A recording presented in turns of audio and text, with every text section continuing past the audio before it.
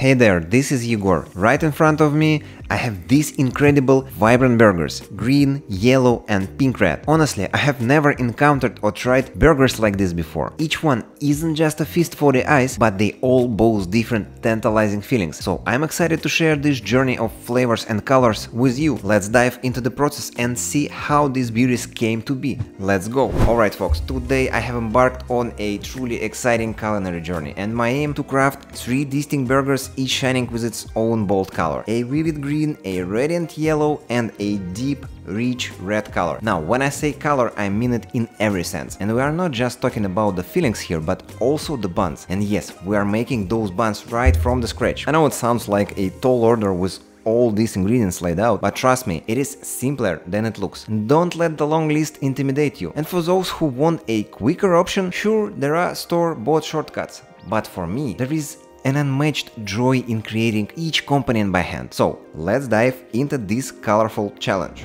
Let's dive right into making our green burger bun. And here is what we're gonna need. 300 grams of white bread flour, 30 grams of sugar, 20 grams of unsalted butter, 6 grams of salt, 3.5 grams or 1 teaspoon of instant or active dried yeast, 1 medium-sized egg, 100 milliliters of milk and roughly 50 milliliters of water. And let's not forget our star player that will give our buns that fantastic green color, spinach, about 100 grams of it. Alright, first things first, mix the sugar into the warm milk and stir until dissolved. Then whisk in the egg. Add the yeast and give it about 10 minutes to activate. If there is no action after that time, your yeast might be expired, time to grab a new batch. Now for the spinach. Boil it briefly just for a few minutes until it wilts. After boiling, drain the water thoroughly. When it is cooled down a bit, blend it with 50 ml of water to get a vibrant green mixture. Once your yeast mixture is all bubbly and ready, it is mixer time. In its bowl, combine the yeast mixture, flour, butter, salt and the green spinach mix. Turn on the mixer and aim for a soft elastic dough. If things looks off, like the dough is too sticky and all over the place, you might have added too much liquid. No worries, just add flour little by little until it gets its act together. Once the dough is good to go, sprinkle a bit of flour on a clean surface, then turn out the dough onto it. Shape the dough into a ball and let it rest in a lightly oiled bowl. Give it a solid 45 minutes to rise, preferably in a slightly warm oven. After the rise, bring out the dough, give it a gentle patch down, always a fun part, and let it take another 30 minute break. Again, the slightly warm oven works wonders here. And that's it. You have now got a green dough infused with spinach flavor and color all set and ready. Jumping into our next burger bun journey, we are on a mission for sunlit buns. Using the tried and true ingredients from previous dough, but remember, we need 100 ml of water this round. Let's infuse some color.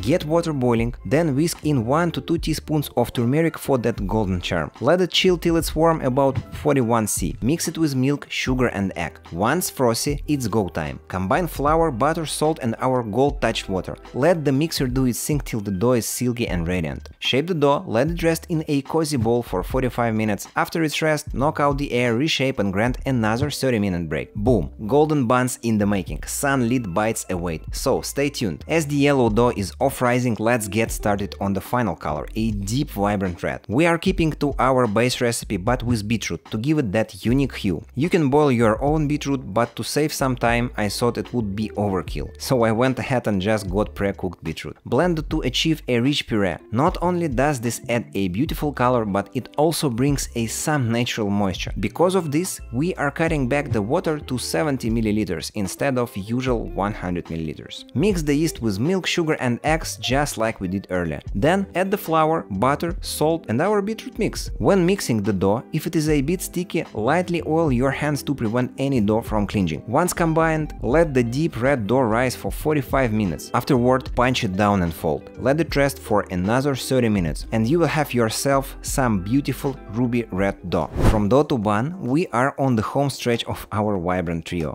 First, dust your table with a bit of flour then lay out your dough. And don't forget to knock out the air, just take a moment to marvel at these colors. It makes me wonder, maybe we could craft some colorful dumplings or pizza next? A little recommendation, invest in these specific rings, about 10 cm wide and 4 cm tall. They are a lifesaver if you are dreaming of plush soft buns. Without them there is a risk of the dough just spreading out and morphing into something that is neither a bun nor a flatbread. Time to handle the dough. You will want 100 grams for each bun. Use a dough scraper to section them off, weight them and then shape them by tucking the edges underneath and rolling with the palm of your hand. I have decided to go with two buns per color. As for the leftover dough, straight to the freezer for another day of culinary magic. By the way, if you don't have these rings, you can easily fashion some out of foil. Pop the 100 dough balls into the greased rings, but a heads up, skip the plastic film over the top, you don't want to stunt their growth. Instead, lightly coat them with oil to stop them from drying out. Let them rise and fluff up over 40 minutes. Meanwhile, get that oven heating to 170C. After they rise, brush them lightly with an egg wash. And remember, steer clear of getting any wash between the dough and metal. Sprinkle with sesame seeds while the wash is still wet. Into the oven they go for 25 minutes. A little baking secret. At around the 15 minute mark, give them a turn to ensure an evenly baked golden finish. Once the timer dings, cool them on a wire rack for about 5 minutes. Then gently release them from their rings. And there you go, vibrant buns that will turn your burgers into a culinary masterpiece. Alright folks, let's get our green burger filling ready. First up, the aromatic pesto. Start by stripping those basil leaves from the stems and pop them in a food processor. Toss in some garlic, pine nuts and parmesan and blend it all up. Now, about that lemon, the best hack, squeeze it through a sieve to avoid any seeds and unwanted sprays. Drizzle in some olive oil, add salt and pepper and give it one last whirl. Admire the beauty and take it in that heavenly aroma. Bellissimo! Now let's talk chicken. I am a Thai guy because they are juicier and pack more flavor. But if you are more into breasts, go for it. Lay them out, slice them them for even cooking and maybe give the thicker part a little tap. Fry them up in some oil, season as you go, and once they are golden, let them cool. Dice them up, mix them with that drool-worthy pasta and bam! You've got a chicken pasta mix that's seriously hard to resist. I won't lie, I snacked on half of it while preparing the rest. Can you blame me? Pasta love is real. Now we are all set to make that epic green burger shine. Rolling from our green magic, let's dive straight into the sunshine vibes of our next filling, yellow. First up, grab a yellow pepper, ditch the stem, slice them in half and give the seeds the boot. Now here is the drill, slice them thin, then chop them up all nice and fine, and do the same thing with tomato. Cut in half horizontally and scoop out the pulp with the spoon, and finally chop it. And time to tackle the beef. Get a hot pan ready and press that ground beef down for a nice even sizzle. A couple of minutes in, flip it over and oh boy, that crispy golden crust. Now break it up into bits.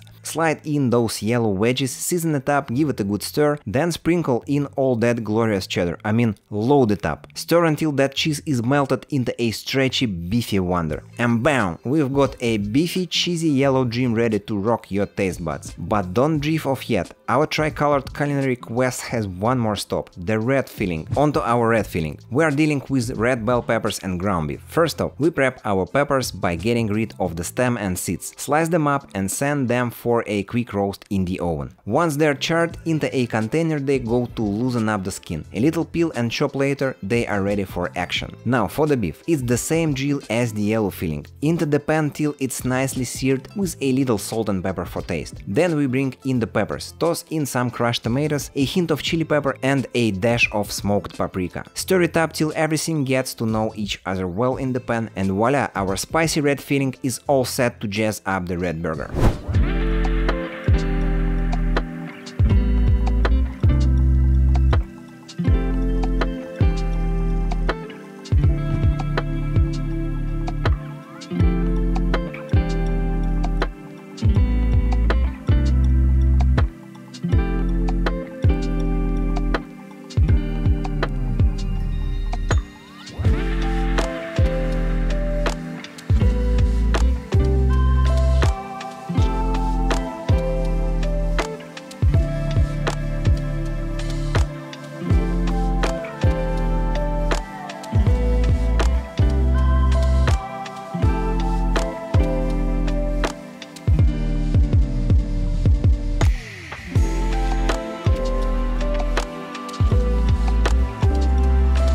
Alright folks, it's taste test time. Let's bite into the green bun first.